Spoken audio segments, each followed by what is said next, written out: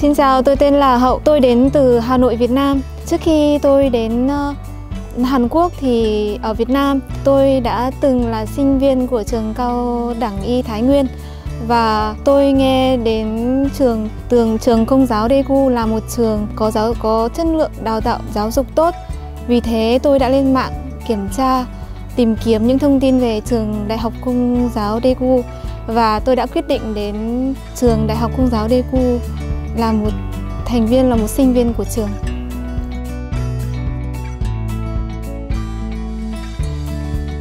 Tôi đến trường à, Đại học Công giáo Daegu từ năm 2013. À, tôi học một năm học tiếng Học viện ngôn ngữ Hàn Quốc của trường Đại học Công giáo Daegu và sau một năm học tiếng thì tôi lên đại học và học từ năm đầu của đại học.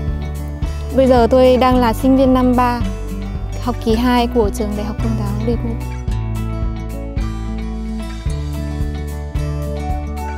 Trước khi mà tôi vẫn đang học tiếng ấy, ừ, trường đã tạo rất nhiều điều kiện để cho chúng tôi có thể uh, tiếp xúc trực tiếp với văn hóa Hàn Quốc ví dụ như là đi du lịch hoặc là uh, đi thám hiểm những khu du tích, uh, những viện bảo tàng uh, có thể cho chúng tôi tìm hiểu thêm về văn hóa Hàn Quốc. Và khi lên đại học thì cũng có rất nhiều ưu đãi ví dụ cái ưu đãi đặc biệt nhất đó là học bổng.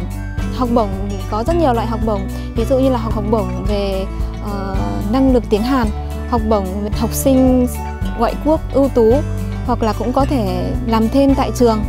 Và cái đặc biệt hơn nữa đội ngũ giáo viên các thầy cô rất nhiệt tình giúp đỡ chúng, chúng tôi ạ.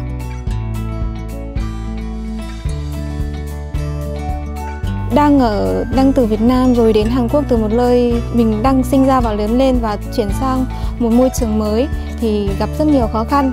Nhất là ở trường đại học ở trường đại học thì các thầy cô luôn luôn quan tâm và giúp đỡ đến uh, những sinh viên ngoại quốc giống như tôi. Nên là tôi cảm thấy không còn những khó khăn nào nữa.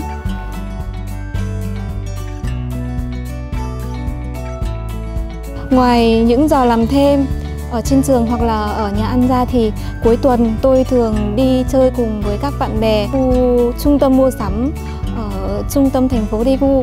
Ở tại đó thì giá cả rẻ và có rất nhiều hoạt động vui chơi giải trí dành cho ngoại quốc và dành cho các bạn Hàn Quốc.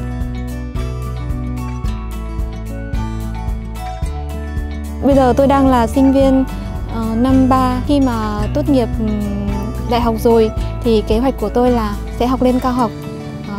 Học, khi mà học cao học thì tôi có thể có nhiều thời gian rảnh thì tôi sẽ học thêm tiếng Anh tại vì bây giờ tiếng Anh là ngôn ngữ chung của toàn thế giới nên là tôi sẽ học thêm môn tiếng Anh và trong khi đó à, tôi à, sẽ chăm chỉ học môn chuyên ngành để khi à, ra trường tôi có thể có được tấm bằng tốt trong tay để có thể về Việt Nam xin vào các trường đại học tốt của Việt Nam.